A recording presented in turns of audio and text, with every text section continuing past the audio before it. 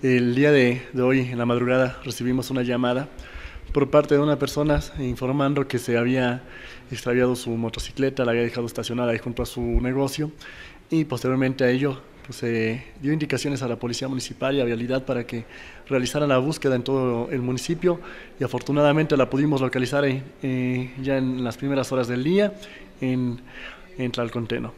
Se le dio instrucciones a, a toda la policía que se coordinara. Seguimos las cámaras de, que tenemos aquí en, en, la Policía Municipal. Estuvimos rastreando el lugar desde donde salió la motocicleta y posteriormente les seguimos la pista hasta llegar a eh, donde se encontraba hallada. Desgraciadamente no encontramos la persona que lo que la estaba conduciendo. Ya estamos haciendo las revisiones en los videos para ver si podemos eh, de, detectar a la persona que iba conduciendo, ya que como iba muy rápido y llevaba gorra, pues no se puede distinguir su rostro.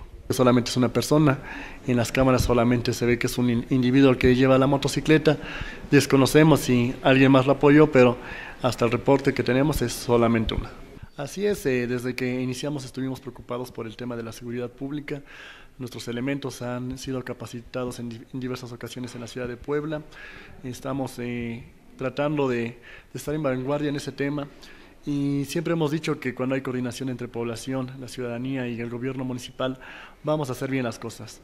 En este caso, las dos ocasiones que sucedió esta recuperación de vehículos fue a través de denuncias ciudadanas. Entonces, yo creo que sí se pueden hacer bien las cosas, solamente necesitamos que la ciudadanía nos reporte cualquier incidente, por más pequeño que sea, les pedimos eso para que nosotros podamos atenderlo y estamos seguros de que vamos a trabajar bien para darle solución.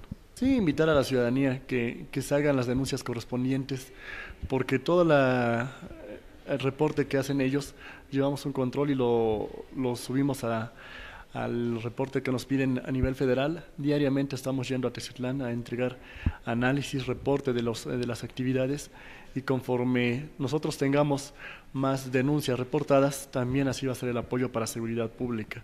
Todo eso es parte de nuestra gestión que estamos haciendo, pero sí invitamos a la ciudadanía de que nos apoye, que denuncien, ya que es la única manera de poder acabar con, ese, con esos medios que, que subsisten.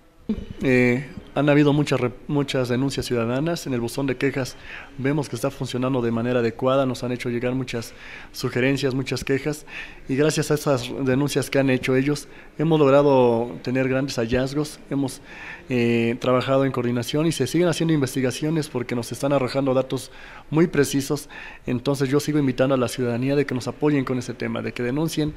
No es necesario que aporten sus datos, lo pueden hacer de manera anónima, solamente que nos eh, proporcionen los datos precisos para que nosotros podamos investigar. Estamos en coordinación con el Ministerio Público Estatal, Federal, para que se hagan bien las investigaciones y podamos dar con todas aquellas personas que se dedican a alguna actividad presuncible de delito.